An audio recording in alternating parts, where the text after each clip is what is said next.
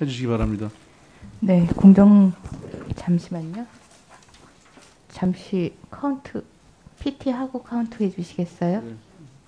예, 예, 공정거래위원장님 함께 예, 검토할 내용을 말씀드리겠습니다. 일감 강요와 일감 빼앗기로 얼룩진 건설 현장에 대해서 알고 계십니까? 언론의 에, 보도를 통해서 잠깐만 어, 살펴보면 노조 밥그릇 싸움에 등 터지는 건설 현장, 건설 현장 민노총 리스크, 노조원 써라 강짜, 채용 수수료까지 챙겨, 양대 노총 건설 현장 밥그릇 싸움, 공사 멈춰 고스란히 어깨 피해로, 건설 경기 한파도 무섭지만 건설 노조가 더 무섭다. 이게 지금 건설 현장에서 일어나고 있는 불법 부당 행위에 대해서 어, 언론에서 다룬 내용이고요. 이만큼 이러한 불법 부당 행위가 아, 일상이 되어 있는 상황입니다. 불법 행위를 보면은 어, 소음 등으로 의도적으로 민원을 야기하고 현장 출입을 봉쇄하고 그리고 건설 현장 내의 작업을 방해하고 그리고 신고하겠다고 협박하며 노조원 우선 채용을 요구하고 하는 그러한 불법 행위들을 하고 있습니다. 또한 부당행위 예, 역시 일어나고 있는데요. 자기 노조 소속 근로자 채용을 강요하고 타 노조 근로자 해고를 종용합니다. 과도한 임금 어, 수당 인상을 요구합니다. 건설 장비와 관련해서도 어, 작업 시간 준수, 강요 행위 그리고 어, 원래비 체기 청구 타 노조 소속 장비와 계약 파기 강요하는 그러한 부당 행위들을 어, 하고 있습니다.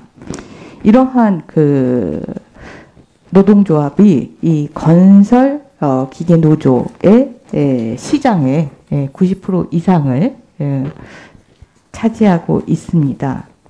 이러한 아, 노동자 아, 노조와 그 노조가 사업자와 사업자 단체인지 여부를 한번 살펴봐야 되는데요. 이 건설기계 노조에 속한 이 건설기계 노조원들은 실제는 사업자 등록증을 이렇게 발행을 하고 있습니다. 사업자 등록증을 내서 어, 사업자로 신고를 하고 있고요. 본인들 모임에서도 어, 스스로 어, 업체를 운영하신 이 사업주들로 구성되어 있다라고 사업자임을 숨기지 않고 있습니다. 이러한 사업자성 때문에 에, 노동부로부터 시정명령도 받, 받았습니다. 일부 조합원들이 근로자를 고용한 사업주인 것으로 확인되어 시정하도록 요구를 했습니다.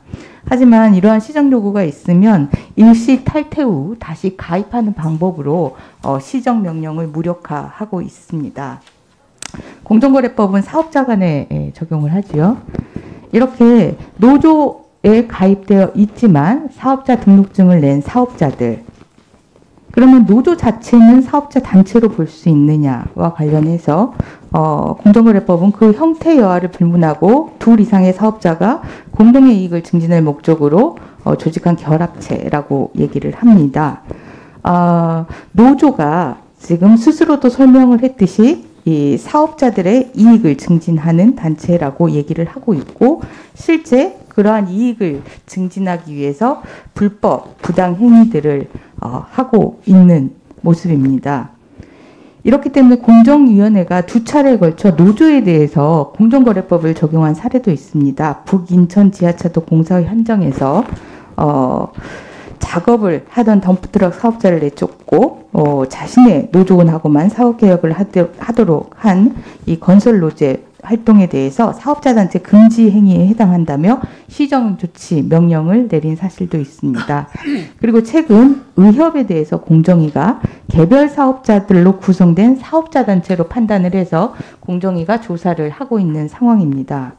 그렇다면 개별 사업자들로 구성된 이 노동조합 역시 사업자 단체로 보아서 불공정한 행위에 대해서는 공정위가 아, 검토를 할 필요가 있지 않느냐.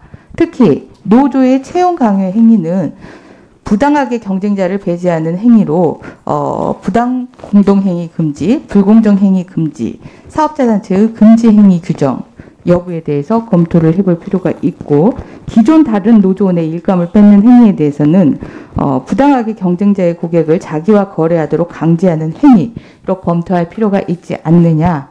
또한 건설기계 대여의 가격 담합 행위는 어, 건설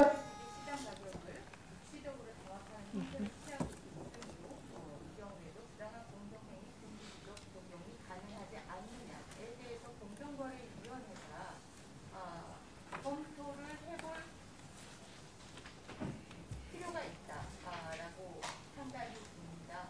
어, 오랫동안 이루어진 건설 현장에서의 불공정, 불법 행위입니다.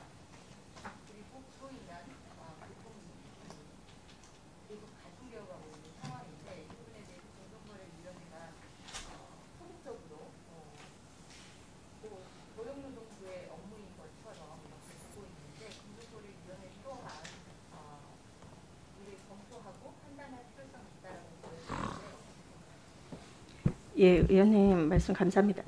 그러니까 건설 현장에 있는 모든 노조가 사업자 단체라고 생각은 하지 않습니다. 아마도 이렇게 굉장히 소, 극소에 있는 그러니까 뭐 특정 노조가 사업자 단체일 수는 있을 것 같습니다. 지금 말씀하신 것처럼 이런 경우에는 저희 사업자 단체로서 어, 저희가 인정을 할 수 있는 경우라면 그리고 사업자 단체가 가지고 있는 그러한 그, 어, 단체의 사업자들의 공동의 이익 증진을 위한 공동행위라든가 어, 저희들이 금하고 있는 그런 단체 금지 행위를 하는 경우에는 법 적용이 가능합니다.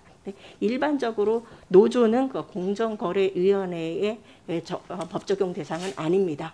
지금 말씀하신 것처럼 그러니까 특정한 경우가 되는 음, 경우에 지금 말씀하신 것처럼 특정한 그러니까 노조가 노조라는 형태를 가, 에, 형식상만 노조인 그런 사업자 단체인 경우에는 그러니까 공정거래위원회의 법 적용 대상이 될 수 있을 것 같습니다. 예. 더 어,